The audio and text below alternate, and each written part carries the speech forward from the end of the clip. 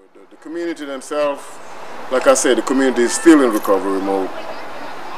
And, you know, just living day to day with the economy, you know, like a job, you got to work so many hours and you have your kids to take care of and you just don't have that two hours when you get off work just to come, go to the community center or to gather up. We're to get to know one another, talk. If you want to testify, if you've been moved and have something to say that you want to give to these buildings, give to this neighborhood, give to each other, please do so.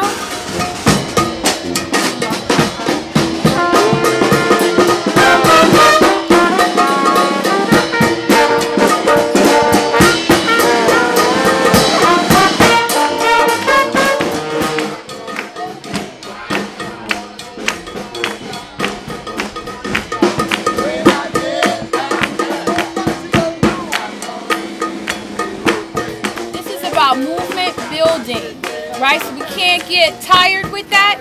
We have to exercise patience with that. We have to extend grace with that. And we have to also ask questions more than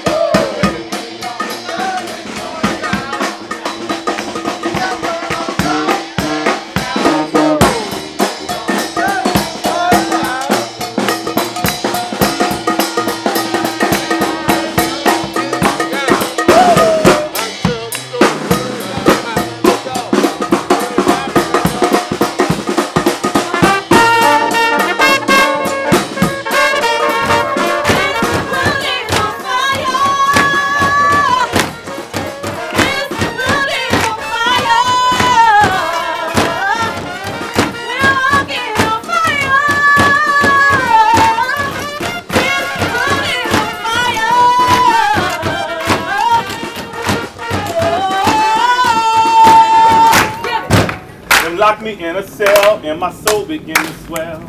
Face begin to break out cause I'm allergic to jail. Concrete jungle is a struggle when you pour black.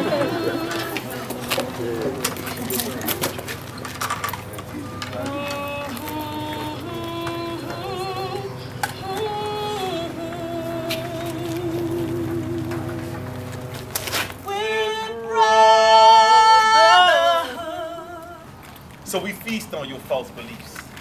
Shout up at southern skies to shower us with voodoo and moonshine, or the strip the little boys on street corners with Sammy Davis stems pounding pavement while tourists find shit funny and children run after purposely unnamed nickels dancing down sidewalks. We love you with ignorant curiosity, brushing your lips with only the hint of a kiss. Commitmentless carnivores whoring out your soul for doubloons and beads and kickbacks. It's dreams we lack. So we drown in tears and floodwaters. Swimming through deception and lies, show the high compromise and bring New Orleans back commissions. But this be Southern living. Them closing schools and building prisons.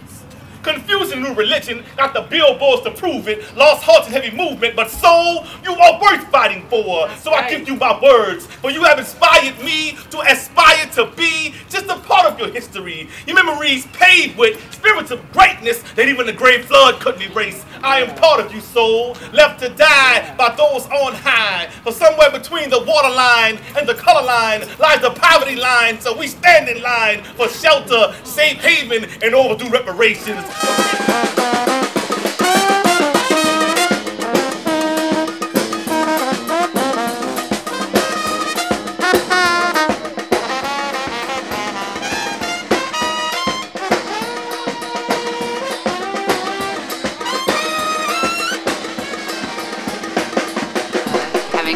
Intergenerational connection. So people of all ages coming together to build something. Knocking on people's doors, educating people.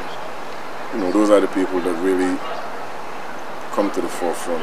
But also educate their residents, renters, friends, on the importance of owning a home and being a, you know, if you really want to be a part of it, you got to put your money where your mouth is kind of thing. That there's value in, in keeping it alive and everybody's motivated and, and fired up and, and but keeps that energy and momentum going.